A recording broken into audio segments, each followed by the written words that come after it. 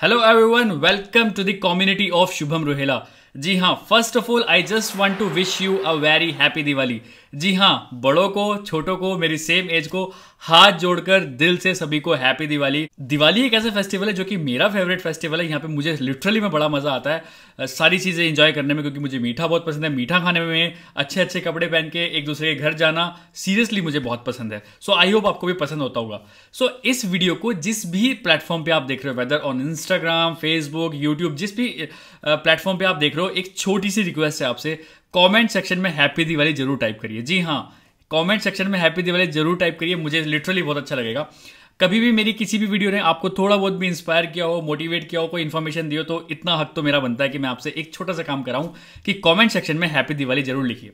जी हाँ happy Diwali wish करने के साथ साथ पाँच मैसेजेस जो मैं आपको देने वाला हूँ इस वीडियो में मैं आपको बहुत ज़बरदस्त ऐसे मैसेजेस देने वाला हूँ, जिससे सीरियसली आपको भी थोड़े से आप थोड़े इंस्पायर हो जाओगे, थोड़े मोटिवेट हो जाओगे। ये पाँच मेरे लाइफ लेसन्स सुनने के बाद कि पाँच तरह की मैंने कौन सी गलतियाँ करी?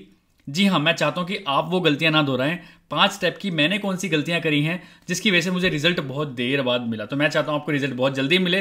तो पाँच गलतियों के बारे में डिस्कस करते हैं कि पाँच गलतियाँ मैंने कौन सी करी, जिसकी वजह से मुझे रिज़ल्ट थोड़ा सा लेट मिला। ठीक है? सो स्टार्ट करते हैं।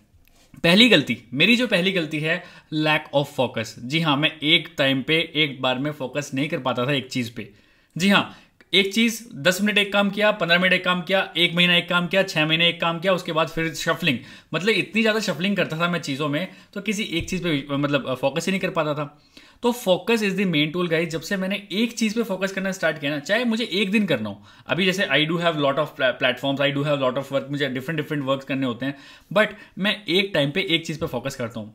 मतलब छोटा सा एग्ज़ाम्पल लेके चलते हैं। अगर मैं आज इंस्टाग्राम का कॉन्टेंट बना रहा हूँ तो मेरा पूरा दिन या फिर एक चीज़ मतलब ट्वेंटी फोर आवर्स में फिक्स कर देता हूँ ये इंस्टाग्राम के हैं। इसमें यूट्यूब कुछ नहीं करेगा इसमें मेरे जो ऑनलाइन बिज़नेस है वो कुछ नहीं करेंगे। या जो इसमें मेरी जो हॉबी है वो इसमें इन्वॉल्व नहीं होगी ठीक है? सो so, एक प्रॉपर टाइम डिस्क्राइब करिए एक प्रॉपर टाइम दीजिए किसी भी एक अपने आ, काम को। जो भी आप काम कर रहे हो उसके लिए आपको पर्टिकुलर टाइम देना पड़ेगा। उससे आपका फोकस बनेगा उससे आपको रिज़ल्ट भी बहुत अच्छा आएगा। सो so, पहली गलती जो मेरी है मैं लैक ऑफ़ फोकस था। मैं चाहता हूँ कि आप किसी भी एक चीज़ पे फोकस करें काम करिए। You will definitely get a lot of result second to start actually मुझे पता है देखो आप लोग देख रहे हो आपके दिमाग में मेरा बहुत सारे आइडियाज़ है। आई नो यार। आई नो दुनिया में ऐसा कोई इंसान नहीं इसके पास कुछ आइडियाज़ ना आते हो। ट्वेंटी फोर आवर्स होते हैं हमारे पास दिन में। ट्वेंटी फोर आवर्स में ना मैं कहता हूँ पाँच सौ आइडियाज़ आपके दिमाग में आ जाते होंगे।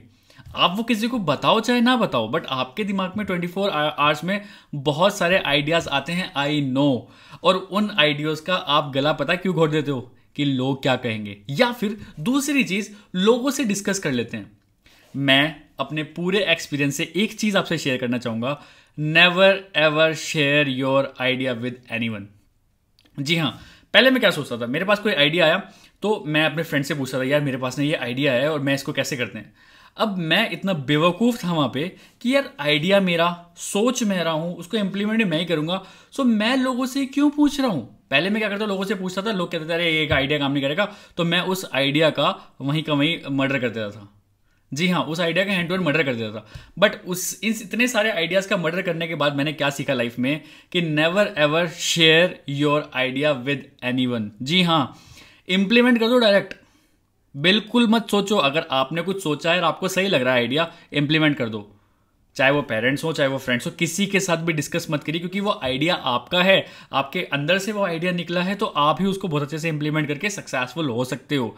आपके दिमाग में कोई भी डाउट नहीं रहेगा। हमेशा देखना मैं मैं क्या सोचता था कि आ, मैंने कोई आइडिया निकाला तो मैं उस टाइम तो हंड्रेड परसेंट कन्विक्शन रहता था मेरे पास मेरे को अपने उस आइडिया पे।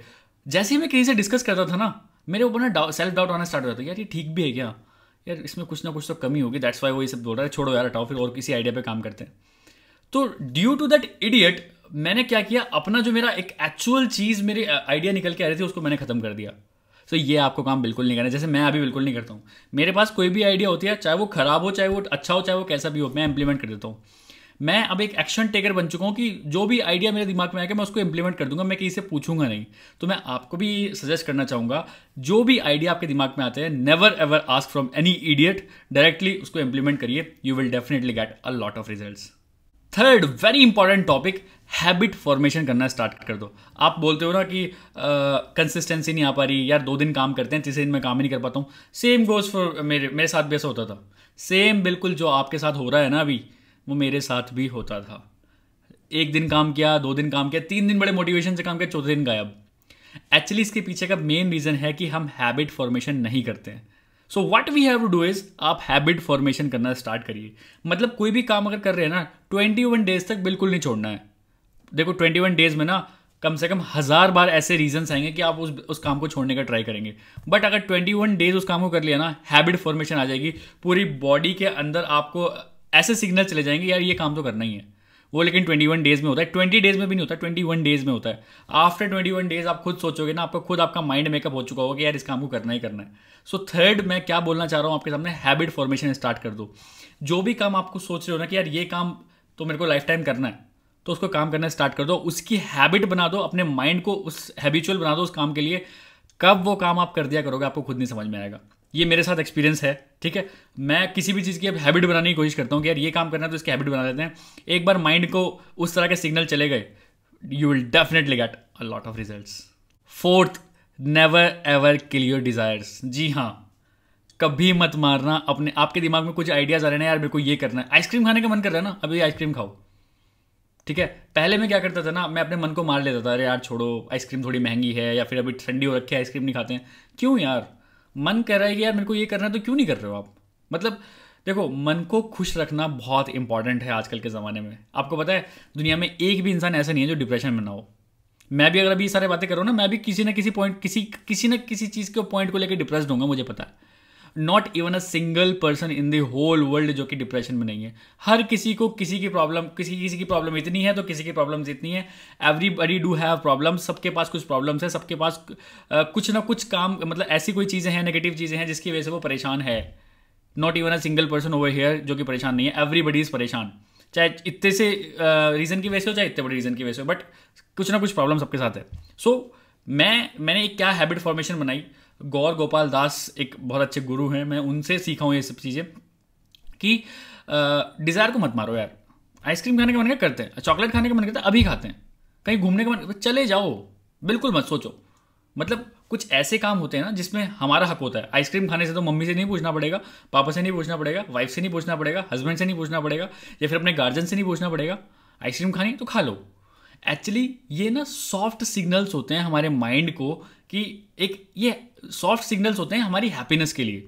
हमारे माइंड को ऐसे हैप्पीनेस के सॉफ्ट सिग्नल्स देना हमारा काम है। हमारा माइंड कुछ नहीं है, सिर्फ़ अगर आप उसको सॉफ्ट सिग्नल्स देते हो, उस टाइप के जिस टाइप के वो मांग रहा है, आपकी तरह चलना स्टार्ट हो जाएगा और आपकी प्रोडक्टिविटी बढ़ जाएगी, मैं बता रहा हूँ। अगर आप किसी भी काम को खुश, क्योंकि देखो, ये सॉफ्ट सिग्नल्स देके ना आप अपने मन को खुश कर रहे हो। और मन अगर खुश हो गया ना, उसको सारे कामों में करा सकते हो आप।